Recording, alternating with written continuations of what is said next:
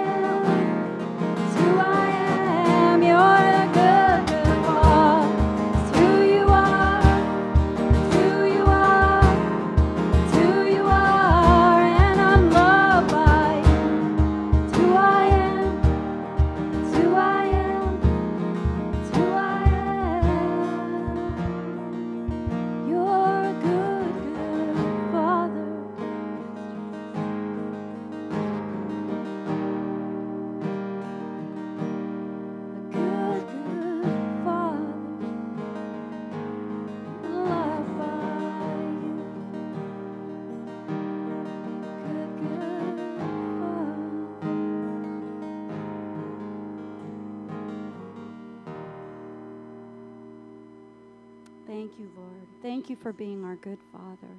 You are perfect in all your ways, and your thoughts that you think towards us are good. And Lord, your ways and your thoughts are higher than ours. And Lord, we can trust you. You're our good and sovereign God. We just pray, Lord, this morning that as we open your word, Lord, that you would conform us to your image, make us more like you, God. And just root those things out of our lives that are not pleasing to you. Lord, open up your words to our hearts this morning. In Jesus' name, amen. Amen. Good morning. Good morning, Calvary Chapel, McDonough. Uh, welcome to church at your house this morning, and we hope you're having a, Uh, great morning. Got a cup of coffee or whatever you like, maybe Red Bull. I don't know.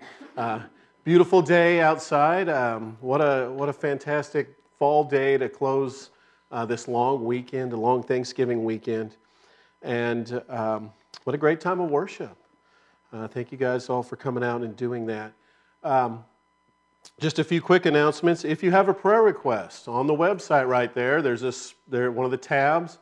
Uh, you click prayer request, uh, and you just type in. You can put your name. You don't even have to put your name, but you can put your name, and you don't have to fill out all the other information.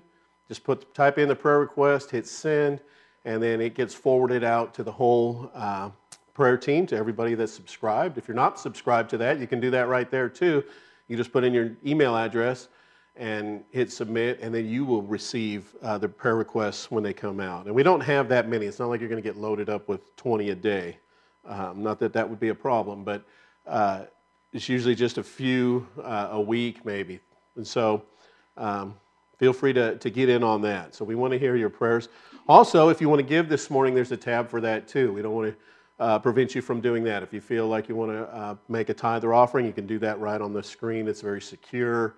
Uh, when you click on it, actually it goes to the secure website. It looks like ours, kind of, but you just again put in your information, and you can set up monthly things. Uh, that's what I do. It, I just set it all up, and it just now it just does it automatic. So um, it's very uh, helpful. Well, this morning we are going to pick up in Romans chapter 13. And if you would turn there to Romans chapter 13, and we're going to pick up in verse 8 and finish the chapter. And let's pray, and then we'll get started. Lord, we just thank you uh, for this day. What a beautiful day. And Father, we just ask that your blessing uh, upon us as we look at your word right now. Um, maybe some difficult things here. Uh, hard to understand, Lord. Hard to really uh, know the how to really put this into practice. Uh, and Lord, so I'm asking for for your guidance, your direction for each one of us, Lord, that we would uh, have an understanding on how we can do what you're asking us to do. Lord, you're asking us to love uh, one another, and and Lord. Um, that can be incredibly difficult at times. And so we, we just, I'm just asking that you give us that direction, that guidance, Lord, the, the how. How do we do this, Lord? So as we look at your word right now, uh, Father, uh, give us understanding, give us direction, and help us uh, to put this into practice, Lord. And because that's why you're telling, to, telling us to do it. And so, Lord, guide us right now as we look at your word. In Jesus' name we pray. Amen. Render means to supply, to provide, to furnish, uh, give something useful or necessary. Uh, in the beginning of chapter 13, Paul instructs every person to be in subjection to the governing authorities because all authority comes from God, and those that exist are established by God, even if we don't like them. Paul continues and says that because of this, because we are in subjection to them, we are to pay taxes. And then in verse 7, Paul says to render or supply or provide or furnish to all what is due to them. Romans 13, verse 7 says, Render to all, to all, what is due them. Tax to whom tax is due, custom to whom custom, fear to whom fear, honor to whom honor, owe nothing to anyone. The beginning of verse 8. Uh, we, as believers in Jesus, we are to render or pay to all what is due to them. We are to owe nothing to anyone. Now, this verse can be taken out of context very easily. Is Paul saying that we as Christians are, should not have a mortgage or a car payment or take out any loan whatsoever? No, he's not saying that at all. Paul's not saying that we should not borrow. In fact, let's look at what Jesus says about borrowing in Matthew chapter 5, verse 42. He says, Give to him who asks of you, and do not turn away from him, him who wants to borrow from you. And so Jesus is not condemning borrowing. And so, what is Paul saying when he says to owe nothing to anyone? Well, remember, Paul says this in the context of rendering to all what is due them. If you have a mortgage or a car payment or a loan, um, when you receive the bill this month, what does the bill say is due to them? Is it the entire sum of the loan, or is it this month's payment that is due to them? Well, it's this month's payment, right? Ideally, a loan uh, is beneficial to both parties uh, to the bank or business that loans the money and to the person that receives the loan. Both parties agree on a certain amount of interest to be paid. Both parties agree on a length of the time to repay the loan. Both parties agree on a payment schedule, how much will be paid per installment over the length of the loan. And uh, so this gives the average person the uh, opportunity to purchase a home or a vehicle. And it also gives the bank or an institution a way to earn money, to have a job, uh, uh, employment, as long as the borrower is making the payments in accordance with their agreement. Uh, it's a win win situation for both parties. However, it's not a good situation when the bill comes and we fail to render what is due to them. And this is what Paul is talking about. Do not enter into a loan agreement that you can't make good on. In my personal experience, the bank is always under the impression that I can afford way more than I know what I can afford. You see, they run their little calculations. I don't know how they do it. They take your monthly income, they minus any other loans you might have, minus utility bills, and then they offer me a loan that takes up the rest. And in the past, I've had to inform these guys that, you know, hey, I pay my taxes. And that takes a large portion out of my paycheck. I'm sure you're all aware of that as well. Uh, I have to inform them that my body requires food. Granted, I often give it more than it requires, but it does require purchasing food to consume every day. I have to inform them that I might, even if I don't have a loan on a vehicle, it still requires gasoline on a daily basis. It requires the tires to replaced, be replaced. It, uh, if it breaks down, it's got to be repaired. I inform them I might like making charitable contributions, tithes and offerings, or supporting missionaries, or even maybe giving to an organization that supports a fatal disease or a physical ailment. There's so much expense in life that the bank does not calculate into their figures.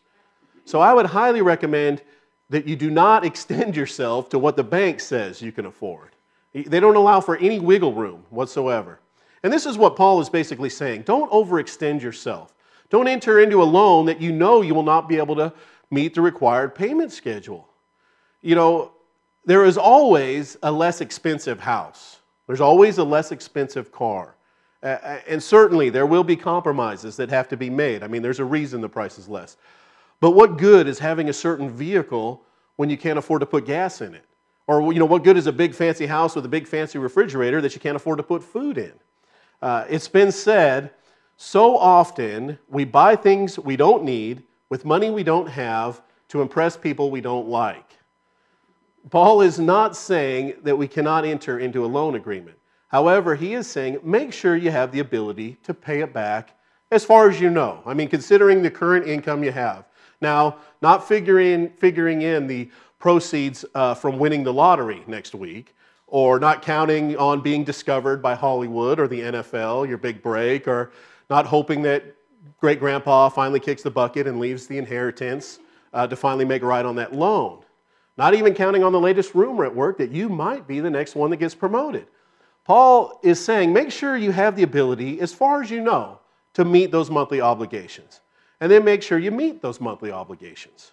Now, you may be in a position where something changed. You know, you got laid off from work, you incurred unplanned medical expenses. There's no doubt things like this happen. That, that's why I believe it's good advice to borrow, not to borrow everything that the bank says you can afford, but kind of go the opposite. Borrow the minimum you need to borrow at the minimum interest rate you can get because things change. You might lose your job and you have to find another one, and chances are the next one might not start out paying as well as the last one, especially at first. Usually it takes you know, time to work up the pay scale, sometimes just to get back to where what you were making at the previous company. It might be a couple of years. Um, some may call that lack of faith. I don't know. I, I, I call it counting the cost, as the Bible instructs. For example, you know, here in this area, in, in Atlanta, the metro area, uh, you need personal transportation. Uh, places like New York City or Chicago, they have very good public transit systems. Many people live and work and function in society without their own vehicle. Uh, here in our area, that would be extremely difficult. Uh, so it's safe to say that most of us, not everybody, but most of us require some type of personal transportation. And so it's safe to say that for most of us, that would be God's will, that we would have this type of personal transportation. However, there's a wide range of price depending on the options, right? You might say that it's God's will that you have a brand new car. You might say it's God's will that you have more than the economical compact car. You might say that it's God's will that you have the gigantic oversized aluminum wheels with tires that look like a rubber band stretched over a coffee can. You know, uh, whatever. You might say that you God's will is for you to have the Bluetooth navigation uh, connects to your phone automatic, all of that great stuff, and, and that would be cool, and so on and so on. And there's nothing wrong with any of that, but that's between you and God. You know, and with everything, just, just not just cars, houses, everything. Uh, and I do firmly believe that when God guides, God provides. And so if God guides you to buy a particular car or a particular house, I firmly believe He will provide for that car and that house. And if God is no longer providing for that car or that house, maybe it wasn't the one Lord, the Lord intended, or maybe it was the one, but it is no longer the one. And the Lord wants you to, to uh, downsize, you know, time to, to move on. And so uh, just following the Lord's will on that. And we don't want to judge anybody for how the Lord's leading them on what, what they're purchasing. Uh, God instructs us through the Apostle Paul to render to all what is due. He instructs us to pay our monthly bills. And if you're unable to do that, maybe it's time to make some changes, you know, whether it's increasing the monthly income, decreasing the monthly bills. Uh, my family gave up cable television 17 or 18 years ago. Uh, we never had it in this house. Uh, we purchased an antenna for $70. And, you know, if the cable bill was, some people tell me it's $100 a month. Uh, that's over $20,000 over that time span. And, you know, it's really not that bad. I only have to go through 20 something channels to find out there's nothing on instead of going through 700 channels to find out there's nothing on. Uh, last month, my son Parker uh, purchased a running roadworthy vehicle with good tires on it for $800. Now, it's not pretty to look at, but it gets them to work and back safely and reliably. Um, there are lower priced options out there. That's the point. And so, uh, when we start separating what we want from what we need, you'll find the price goes way down. There's a big, often, there's a big difference between our wants and our needs. Um, and so we, we don't want to be overextended. So we're to, we are to render to, to what is due to all, owing them nothing except. In verse 8, he gives us an except. Romans 13, 8, owe nothing to anyone except to love one another. For he who loves his neighbor has fulfilled the law. For this, you shall not commit adultery, you shall not murder, you shall not steal, you shall not covet. And if there are any other commandments, it is summed up in this saying, You shall love your neighbor as yourself. Isn't that amazing? Uh, last week in our study through Exodus, we're right here. What a coincidence. Again, you know, Lord is so good. So the debt here that we cannot pay, the one that says accept, is loving one another. The implication here is we will always owe loving one another. The implication is we will never be done loving one another. Uh, this will always be due. No matter how much we render, we will never be finished with loving one another. Uh, we will never be done with that. It'll always be the case, on into eternity. God will always require that we love one another. In Matthew 12 or 22, 37, we're told, and he said to them, you shall love the Lord your God with all your heart, and with all your soul, and with all your mind. This is the greatest and foremost commandment. This is Jesus speaking.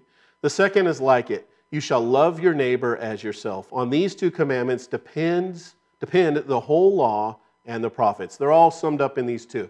James 2 8. If, however, you are fulfilling the royal law according to the scripture, you shall love your neighbor as yourself. That's the royal law. You are doing well, James says. Galatians 5:14, where the whole law is fulfilled in one word, in the statement, you shall love your neighbor as yourself. And then John 13, 34, a new commandment I give you, Jesus says, that you love one another, even as I have loved you, so that you also love one another. By this, all men will know that you are my disciples if you have love for one another. What we see over and over again here is this idea that if you really love someone, you're not going to murder them or you're not going to do these other hurtful things to them. And so, if you love God and you love everyone else, you will not break any of the other commandments. You can't, it would violate the love. you might be thinking, well, it doesn't say everyone else, does it? It says one another. It says love my neighbor. If you remember, they tried to pull that argument with Jesus, and then he told them the story of the Good Samaritan. The whole point of that story that Jesus was telling them was that the Jews' worst enemies, the Samaritans, were considered their neighbors. And so, according to Jesus, everyone, including your worst enemy, is considered your neighbor, and we are commanded to love them. So, what does this mean to love them? Well, Paul lists a few ways that love is manifested uh, by these um, Old Testament commandments. He says in verse 9, For this you shall not commit adultery, you shall not murder, you shall not steal, you shall not covet. And if there's any other commandment, it's summed up in this saying, You shall love your neighbor as yourself. So the first thing Paul says is, is that we should love them, or to avoid a misunderstanding, let's say respect them sexually. What that means is if you really love others, you're not going to commit adultery. Uh, in the act of really loving, we're not going to commit adultery. In the act of loving our own spouse, in the act of really loving the other person, uh, you're not going to cause them to commit adultery with their spouse. If you really love their spouse, the other person's spouse, you're not going to commit this sinful act. And you know, and it extends on to children involved uh, in these families, friends, family. These sins can be very far reaching, affecting far more people than you can often imagine. Uh, even in, of course, we see that in uh, celebrities and pastors that, that stumble into sin, but just your, the regular person, there's, it affects a lot of people, a lot of coworkers, everybody. Uh, we also need to remember that fornication or sex outside of marriage is included in this. We also need to remember that Jesus said if we lust after another person, we've committed adultery in the heart. And so, if we really love someone, if we really respect them concerning sexuality, we're not going to lust after them. This includes pictures, photographs on the internet. It doesn't matter how the picture got there, even if the person volunteered their own lustful picture for whatever reason money, maybe they're seeking approval, maybe they're seeking real love, but just in a very misguided way. If we really love them as God commands us to love them, we won't disrespect them in that way, reducing uh, the image of a child of God. This is a child of God, reducing that image to something that our flesh and our sinful nature desires to lust after. If we really love others, we won't be sneaking a glance. We won't be taking a second look. We, we won't be reducing that person to a, a fuel the fire of our burning sinful desires. Again, even when it's done in secret, it, it still affects those around you. Uh, you can't disrespect a person in that way, even if it's just a photograph of them. And they have no idea. But you know. I know, uh, you know, it, it, changes you. It changes me. It, it changes how we love and respect everyone because that is a person. And so the first manifestation of this love is respecting people in reference to sexuality. Second, we're, not, we're to love or respect people in reference to their physical being, their physical life, not murdering them. Uh, and once again, Jesus took this one step further and said, if you hate someone, you've murdered them. You can't hate someone and love them. It's kind of opposites. And you know, God has wired us all differently. We all have a unique personality, and some of our personalities seem to get along better with other personalities. And I don't think that's a sin. Jesus himself, he selected 12 of his followers of the whole group to be apostles. And then out of the 12, he selected three. Remember, Peter, James, and John, to be a little more closer with. It doesn't mean Jesus, Jesus hated the other guys. Just for whatever reason, he wanted to connect closer with this group of 12 and then even closer with this group of three. And so we can love and respect others physically without being their best or closest friend, however you want to describe it, but still respecting that God made us all, respecting the fact that we are all either sons or daughters of God or we're potential sons and daughters of God. Every single person in the world, you're either a son or daughter of God or you're a potential son or daughter of God. He paid the price for all of us. And He desires we would all come to repentance. That's God's will if we would simply accept it and repent.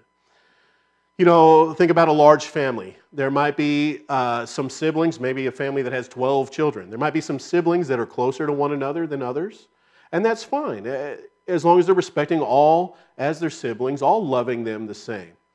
Uh, a third way that our love can be manifested towards others is not stealing from them, uh, which is really stealing from God, uh, because God owns everything. In Psalm 24, 1, we're told the earth is the Lord's and all it contains. All it contains. The world and those who dwell in it. We, everything belong to God. God owns everything. And He's given each of us stewardship of some things. So, taking something that doesn't belong to us, first we're disrespecting God and His decision to put that item under the other person's stewardship. You know, like we know better than God does. But it's also disrespecting the other person. They were given stewardship of that, and taking that away from them is not loving them at all, is it? Uh, in a fourth way, our love can be manifested towards others by not coveting of them. Uh, whether you want uh, the very thing they have for yourself so that they no longer have it, like that particular thing, or maybe you want a duplicate of that thing for yourself so you both have it. Uh, either way, it's really not loving that person to have the to to harbor that. Uh, it's not loving God's decision to give that person whatever it is. And it's certainly not loving if you want to take that thing away from them. And not being content with what God has given us, that's disrespecting God and His authority and His decision making process. Romans 13, verse 10 says, Love does no wrong to a neighbor. Therefore, love is the fulfillment of the law. Do this knowing the time that it is already the hour for you to awaken from sleep. For now salvation is nearer to us than when we believed. The night is almost gone, and the day is near. Therefore, let us lay aside the deeds of darkness and put on the armor of light. It's all about really loving one another. Paul says, Do this. He says, Don't wait. You're almost out of time. The culmination of our salvation by Jesus returning is closer than it was yesterday. It's closer than it was the first day that we believed. We're running out of time. So he says, let's lay aside the deeds of darkness. Eh, We just don't have time for that. We don't have time for sin. He says, let's put on the armor of light. We're running out of time. Verse 13 says, Let us behave properly as in the day, not carousing and drunkenness, not in sexual promiscuity and sensuality, not in strife and jealousy, but put on the Lord Jesus Christ and make no provision for the flesh in regard to its lusts. Paul says, Let us behave properly as we do in the daylight, as we do in front of all. The opposite of what's done, you know, in secret and in the shadows and in the dark of night. Uh, not in drinking parties. That's what the, the uh, carousing means. Uh, not getting drunk, not in sexual promiscuity, not preoccupied with sensual pleasure, uh, not in strife or contention, fighting, not in jealousy or suspicion or possessiveness. Uh, he says, let's behave properly, loving one another unconditionally. And so we've covered the what. What are we to do? We are to love one another with a godly love. It's the word agape, God like love, unconditional love, not earned love. It's just, just loving them, regardless. Uh, we covered the who. We are to love everyone. We covered the why, because God commanded us. And also, loving everyone fulfills all the commandments of God. Secondly, Jesus said, This is how people will recognize that you are my disciples, if you love one another. Not if you have lots of Bible verses memorized, not if your hair is cut a certain way and you dress a certain way, not if you pray publicly before every meal, not even if you bless people when they sneeze.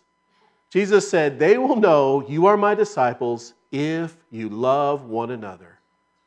And so that's why. That's the why, why we need to do this. We've also covered when. Paul says the time is now. He said, Wake up. We're running out of time. The return of Jesus is near. The opportunity for salvation is almost over. The time is now. So we've covered the what, the who, the why, the when. But there's yet still one enormous question that needs to be answered How? How? How can you, how can I, a man born in sin with a sinful nature, how could I possibly love everyone unconditionally the same way that God loves them? How? I always want to know the how. Verse 14 says, But put on the Lord Jesus Christ and make no provision for the flesh in regard to its lusts. This is the how. This is how we can love everyone in the world unconditionally. Simply put on the Lord Jesus Christ and make no provision for the flesh in regard to its lusts. Now, we are to make provision for our bodily needs. Our bodies need water and food and air and sleep. He's not telling us to disregard our health. He says, make no provision in regard to its lusts. In other words, if you have a tendency to overindulge in something, let's just say ice cream, for example, like me, then you probably wouldn't want to have four cartons of different flavored ice cream in your freezer right now, like I currently do. hey, this is not me preaching to you, this is God preaching to us. I'm in the same boat that you are in. God says, No temptation is overtaking you, but such is common to man. Our temptations are common. Every single one of us might not be tempted in every single way, but whatever many of you are tempted with, I am as well. And the things that I'm tempted with, many of you are tempted with those same ways. Paul says, Make no provision for the flesh concerning its lusts. Meaning, don't provide an opportunity to, provi- to feed the flesh. My office is right here behind me. You can see it. Behind these glass doors. And my computer monitors are facing the glass doors. Anybody in our house can easily see what's on my computer screens. It's not a lot of opportunity to look at something I shouldn't be looking at. If your smartphone is a problem, uh, don't bring it into the bathroom with you or don't bring it into a private situation. Make no provision for the flesh. Uh, sometimes not providing that opportunity is way easier than fighting the battle. That you can end the battle right there by, by eliminating the opportunity. If junk food's a problem, don't fill up the fridge with it. You know, don't fill up the pantry with it. Uh, make no provision for the flesh. And again, I'm speaking to myself. It's a lot easier not to indulge in ice cream if there's none in there, right? Makes the decision, uh, open the door, well, I guess I'm not having ice cream. Uh, I'll have a yogurt or whatever instead. Uh, so it's the same idea. If, if maybe if seeing what everyone else is doing, uh, I know this can be a problem on Facebook or Twitter or whatever the thing is. You know, you see every fun trip they go on, every exciting vacation, every fancy dinner they eat at. Uh, if that stirs up covetousness and jealousy, then stop looking. You- You're not going to get a thousand people to stop posting things. I mean, that's what those things are all about people posting things. So just stop looking. Make no provision for the flesh in whatever area it is. Paul mentions two things as far as how we can love one another unconditionally. One is to make no provision for the flesh, the other is to put on the Lord Jesus Christ. And as awesome as that sounds, what does that mean? Right? I mean, if Jesus was a sweater, this makes total sense to me, right? It's a piece of cake. Just stretch him over the top of you. Pow, he's on. You know, let's go, right? Uh, but he's not a sweater. He's not a facade that goes over the top of us, making us look different than we really are. No, he is God Almighty in the flesh. You know, God Almighty, creator of the universe, transcended himself from his spiritual place into this physical world that he created. He's not a sweater. He's not a facade that we put over the top of us. To put him on means we need to be put off. It's not over the top, it's in place of us. In Galatians 5:13, it says, "For you were called to freedom, brethren, only do not turn your freedom into an opportunity for the flesh, but through love serve one another."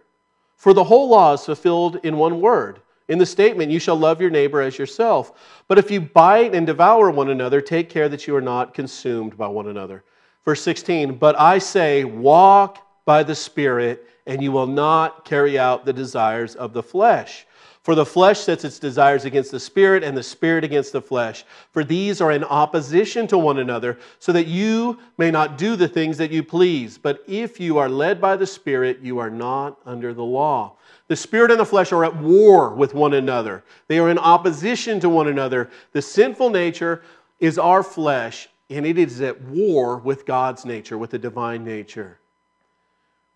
2 Peter verse or chapter 1 verse 4 says, "For by these he has granted to us his precious and magnificent promises, so that by them you may become partakers of the divine nature, God's nature, having escaped the corruption that is in the world by lust." Through God's grace, we have become partakers of the divine nature, of God's nature, escaping the corruption that is in the world by its lust. In Luke chapter 9, verse 23, and he was saying to them all, Jesus was saying, If anyone wishes to come after me, he must deny himself, take up his cross daily, and follow me. For whoever wishes to save his life will lose it, but whoever loses his life for my sake, he is the one who will save it. The cross was the method of execution during that time. If it was today, this could very easily read Sit in your electric chair daily and follow me. Daily. Sit down, throw the switch every day. He says, For the one who loses his life, the one that gives up his life, the one that executes his life for the sake of Jesus, he is the one that will save it, Jesus says. 2 Corinthians 5:16, therefrom, from, therefore, from now on we recognize no one according to the flesh. Even though we have known Christ according to the flesh, yet now we know him in this way no longer. Therefore, if anyone is in Christ, if anyone is in Christ, he is a new creature. He's a new creature. If you're in Christ, you're a new creature.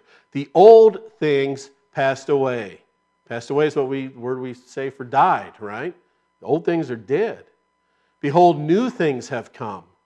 Now all these things are from God, who reconciled us to himself.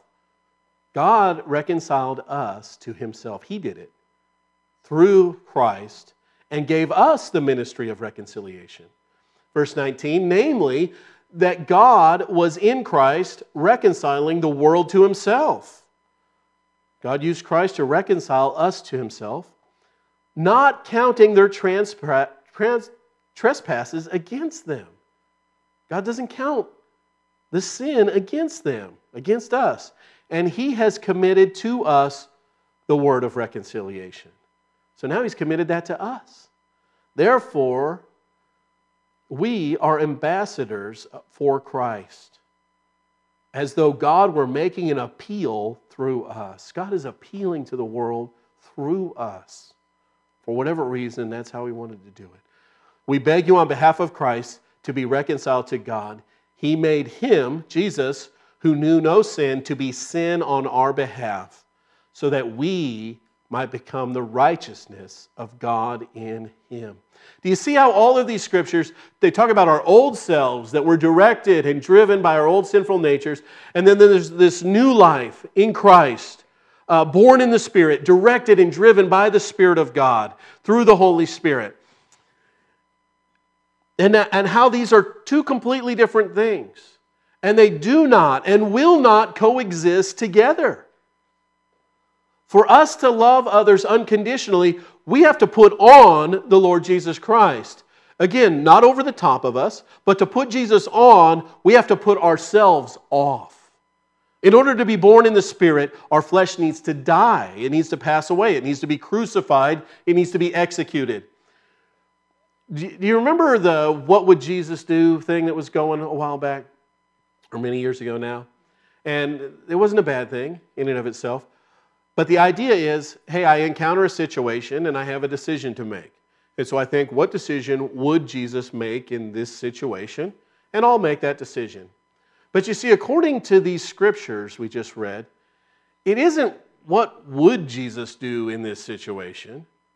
If Jesus is on and we are off, if we are partaking in the divine nature and our sinful nature is dead and buried, it's crucified, executed, then we have no decision to make.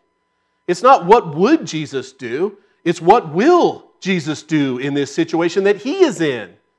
What will Jesus do in and through me? Because I'm dead and buried. And it is Christ who now lives in and through me. But again, the question remains how? How do I live like that? You know, I, I, believe God's word when He says that the old nature is dead and it's buried and, it no longer has authority over me. I believe that. I believe God's word when He says that I am now partaking of the divine nature, of His nature. As incredible that is, as that is, I believe it.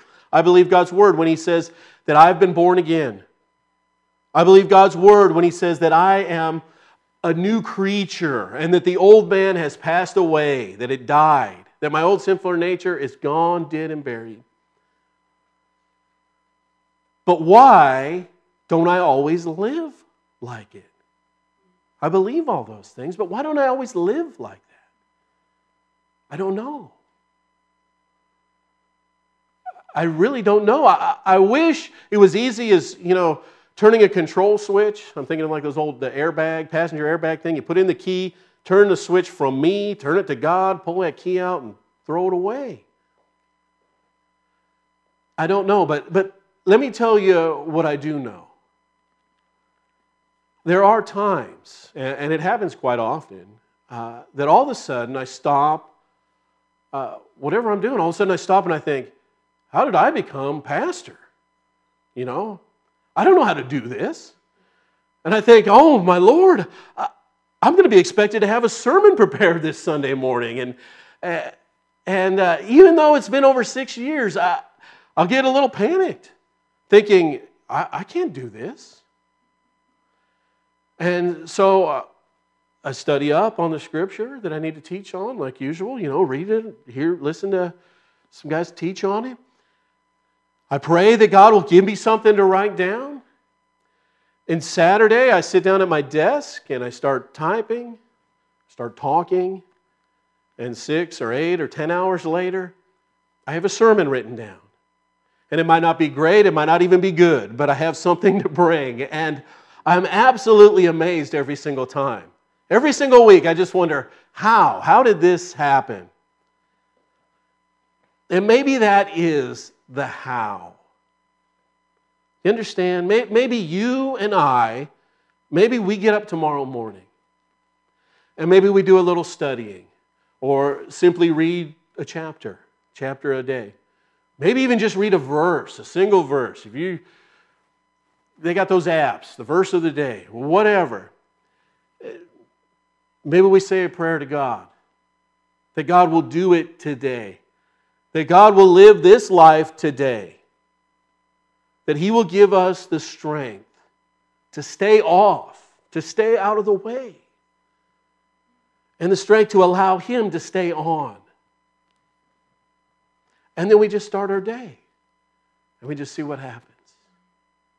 And maybe at the end of the day, we'll sit back in amazement and we'll see what God did, what He did in and through us yet once again. He is so faithful. Let's pray. Lord, I, I, just thank you for this word, and I thank you for this great command to love one another. Lord, and you tell us how by putting you on and taking us off, making no provision for the flesh. But Lord, we need help with that. And Lord, how does that actually fit my life and each one of our lives. We all have a little different thing, little different schedule, a little different work, uh, whatever, Lord, different temptations, different things. Lord, I ask that right now you would give us that direction, the how, right now, for our lives, for our uh, this moment in time, for us in our, each of our situations, that you would give us the how, how we can take ourselves out of the way and put you on and let you live in and through us. And so, Lord, that is our request right now that you would give each one of us, each one here, each one watching online, Lord, that you would give that to us, that we would see the how, and then you would give us the strength to do it. Lord, you always supply what we need to do what you're calling us to do. So, Lord, just give us that direction, give us that insight. And Lord, be with us. Help us this week to allow you to live in and through us and just uh, do whatever amazing work you want to do, Lord, as we go out throughout our week. In Jesus' name we pray. Amen.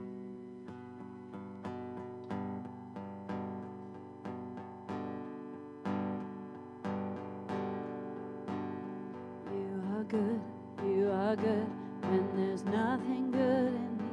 You are love, you are love on display for all to see. You are light, you are light when the darkness closes in. You are hope, you are hope, you have covered all my sin. You are peace,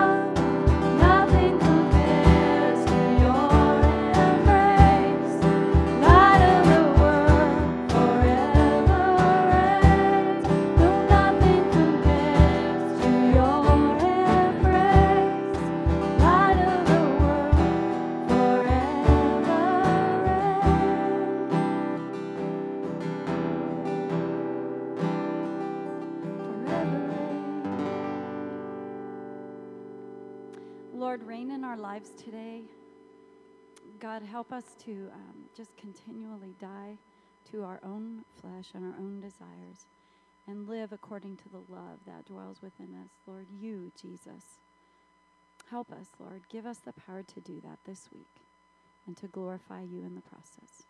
We just pray in Jesus' name. Amen. Have a wonderful day in Jesus.